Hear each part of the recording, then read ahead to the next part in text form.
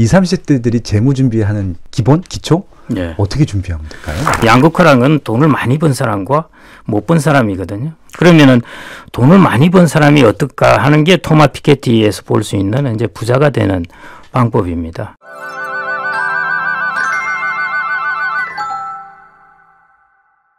다른 것들은 괜찮더라도 제가 20대, 30대는 저기도 써놓았는데요. 어, 재무적인 준비는 꼭 좀 네. 해놓으셨으면 좋겠습니다. 재무적 준비를 지나고 나서 늦게 돌아오기가 어, 그 다시 돌아오기가 힘드니까 후회한다고 해서 그 부분만 좀 이렇게 어, 최소한의 어, 기본 요건만 좀 갖추면서 나가시면은 나머지는 뒤에 가서 되지 않을까 그렇게 싶고요. 음, 많이 나온 김에 짧은 네. 시간에 설명할 수 네, 있는 건 네. 아니겠지만 20, 30대들이 재무 준비하는 좀 가적 가적 기본 기초 예. 어떻게 준비하면 될까요?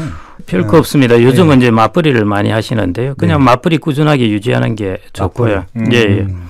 그다음에 이제 자녀가 생기면은 어린 자녀가 생기면은 이 때문에 이제 어 직장을 그만둘 수도 있고 그럴 수도 있는데요. 그만 혹시 뭐 그만두더라도 뭐 빨리 복귀하는 게 좋고 어 부모님께 혹시 맡기면은 충분히 드리고 예 예.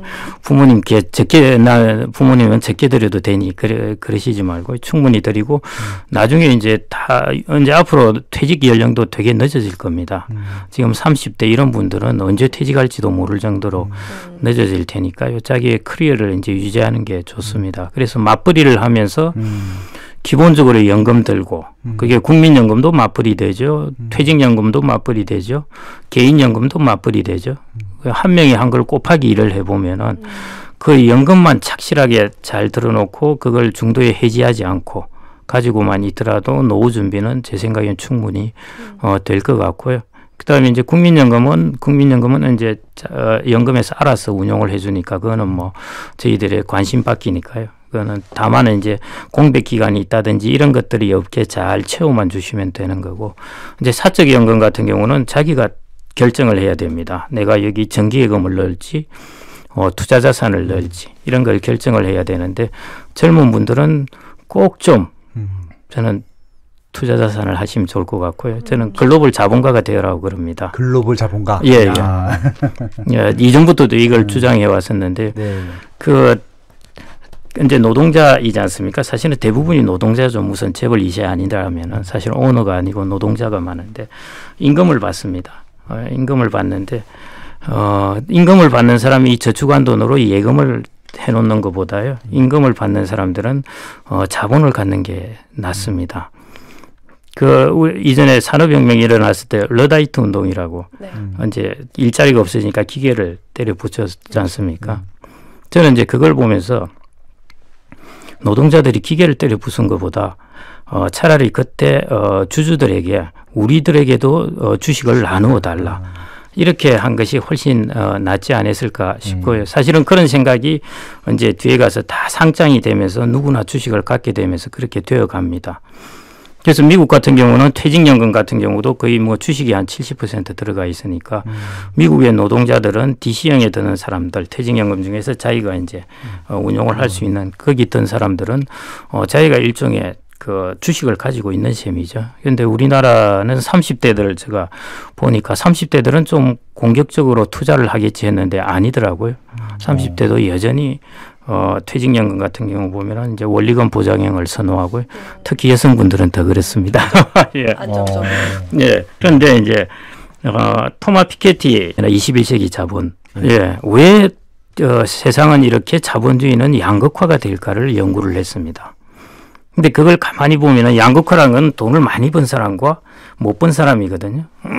그러면은 돈을 많이 번 사람이 어떨까 하는 게 토마 피케티에서 볼 수 있는 이제 부자가 되는 방법입니다. 음. 어, 그게 이제 세 가지 정도가 나오는데요.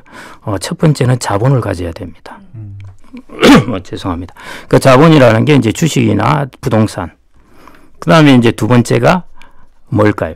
제가 두 번째. 저, 저 자본밖에 예상 못했어요.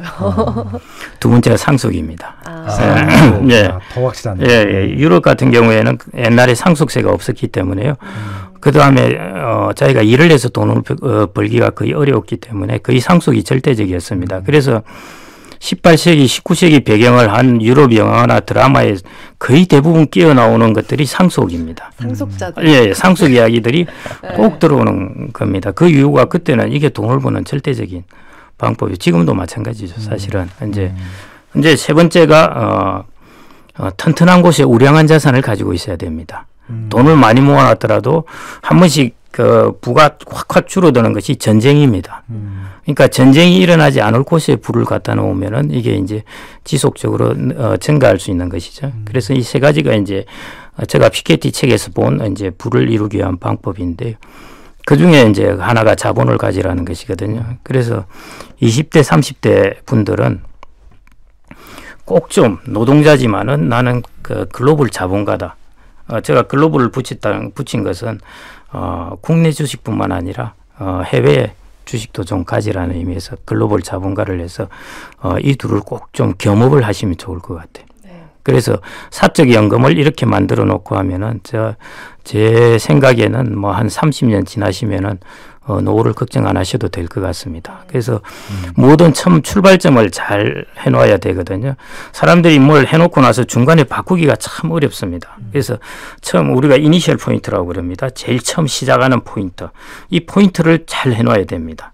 예, 출발이 좋아야 뒤도 좋게 되는데 그래서 그 출발의 포인트를 우선적으로 연금을 드는 게 낫습니다. 세액공제니까 실질 수익률이 훨씬 높으니까요. 우선으로 연금을 드시고 어, 중도에 해지하지 마시고 어, 글로벌 자본가처럼 이렇게 딱 어, 투자 자산으로 해놓으시면은 저뭐 20년, 30, 아, 30년 후에 별 걱정 안 하셔도 어, 될 것 같습니다. 저는 지금 20, 30 대를 위한 조언을 들어보니까 예. 혹시 결혼이 먼저 해야, 해야 되는 건가? 결혼 지금 맞벌이만 말씀하셔가지고 결혼하실 생각이 없는 분들은 예. 어떻게 하죠? 이 책에 조금 아쉬운 점이 그거였어요. 솔로를 위한 방법이 별로 없었다 이 책에. 예. 어, 저희 능력 밖이라서 그랬고요. 이제 아직 네. 비율상 보면은 이제 결혼을 하는 사람 네. 비율이 높으니까 제가 그걸 말씀드린 거고 어, 싱글이면은 사실은 더 준비해야 됩니다. 음. 왜냐면은 이제 어, 자녀가 어, 수- 어, 없기 때문에 아무래도 소비 여력이 많거든요. 그러다 보니까 이제 좀 소비를 많이 할 수가 있는데요. 그리고 부부는 이렇게 둘이 있다 보면은 서로가 서로 간에 이래 소위 말해 해지가 됩니다. 한 명이 아프면은 다른 사람이 벌게 벌으면 되는 거고요. 근데 혼자 있으면은 자기가 아프면 벌 사람이 없거든요. 그래서 보험이라든지 그다음에 저축이라든지 이런 것들을 내 배우자가 하나 하나를 내가 안 보이는 배우자를 하나 키운다 생각하고 그 준비를 조금 더 어, 하셔야 되는 것이 저는 뭐 그 혼자 싱글 이신 분들의 어, 재무 관리가 아닐까 생각이 됩니다. 네, 그래도 싱글은 조금 상황이 나은 것 같아요. 그러면 그거보다 더 힘든 상황은 외벌이인 경우는 어. 자녀도 있고 하면 이제 한 분이 계속 열심히 일을 해야 되는 상황이니까 더 이렇게 축적하기가 좀 어렵잖아요. 어, 저희 세대 같은 경우에는 네. 지금 골프장에 가면은 이제 뭐 50대 이런 어, 여성들이 골프를 많이 치거든요. 네. 그러니까 거의 외벌이라도 다 유지가 될 만큼 소득에 비해서 어, 물가도 싸고 그랬습니다. 근데 음. 어, 선진국도 그렇고 지금 어, 거의 외벌이로 힘들게 되는 구조입니다. 네. 그래서 어, 왜냐하면 전체적인 물가나 문화생활 수준이 높아지는 이기 때문에요. 음. 그다음에 이제 세금도 많아지고 사회보장 비용도 많아지고 하기 때문에 어 저는 가급적 할 수 있으면은 어 부부가 결혼을 하셨으면은 어 맞벌이를 해야 아마 네, 앞으로의 세상을 헤쳐나갈 수 있지 않을까 싶습니다.